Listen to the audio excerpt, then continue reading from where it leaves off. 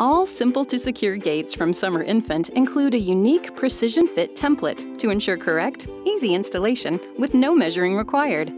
To get started, first attach the support foot to the bottom of the gate with the provided fasteners using the pre-drilled hole.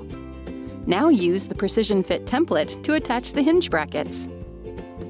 Place the hinge brackets in the slots of the template and put the template against the wall.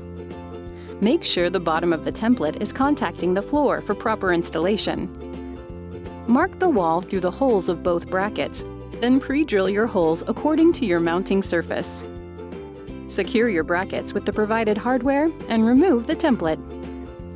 Drop the upper and lower hinge bolts on the gate into the installed brackets and attach the hinge covers.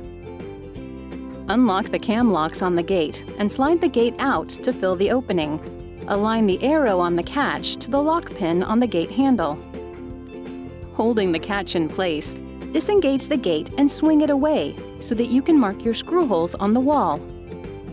Pre-drill your holes according to your mounting surface. To attach the bottom catch, slide it into place and repeat the same steps for attaching the top catch. Close the gate.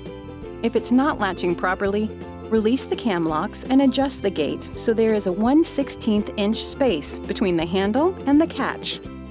Finally, adjust the support foot so that it's gently contacting the floor. Refer to the instruction booklet for further details or help troubleshooting your installation.